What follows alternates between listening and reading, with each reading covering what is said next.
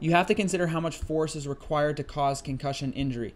Concussion is the result of the brain, which is in a, in a fluid, right? So the brain is kind of floating in a fluid around it. So that fluid cushions it.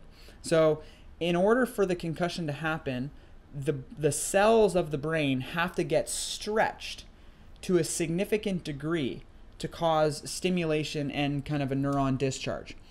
If you look at football, okay? Football is where most of the research has been done on this.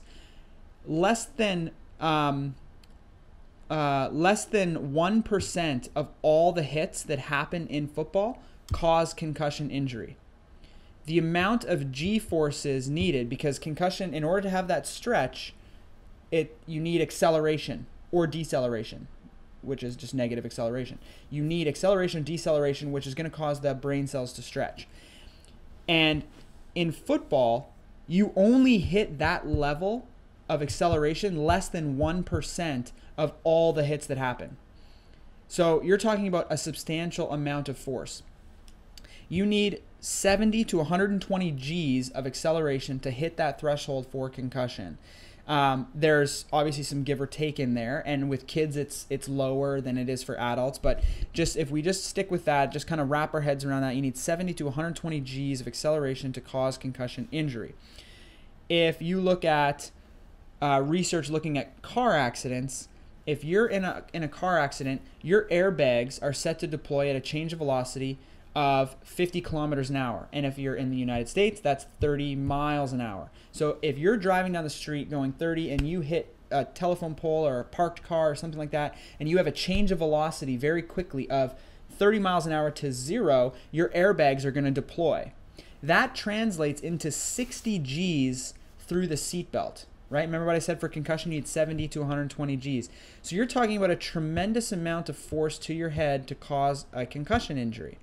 So you're swimming along in the ocean and you scrape your head on the bottom of the ocean. Do you think that that force was the equivalent of a car accident in which your airbags were deployed?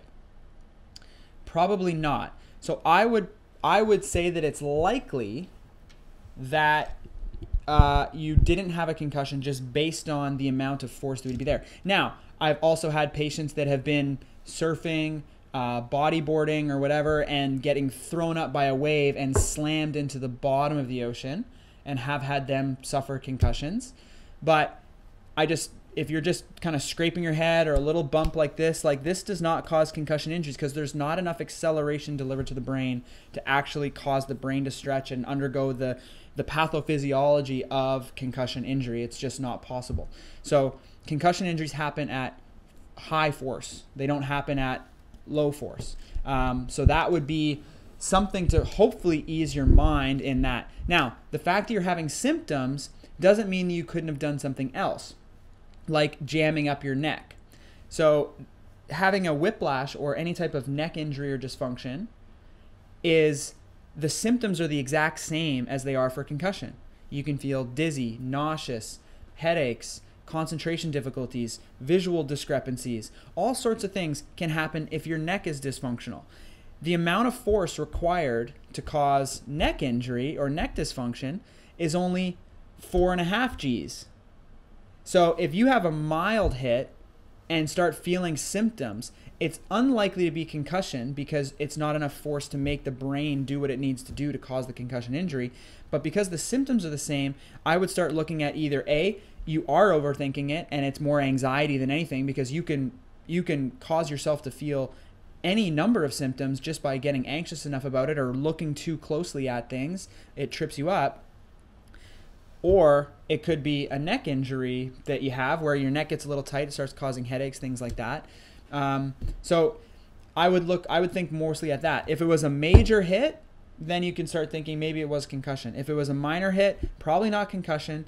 Either you have some neck issues that happen at the same time, or it's just an, it's an anxiety thing that's starting to present like concussion because the symptoms are the same. They look very similar to that.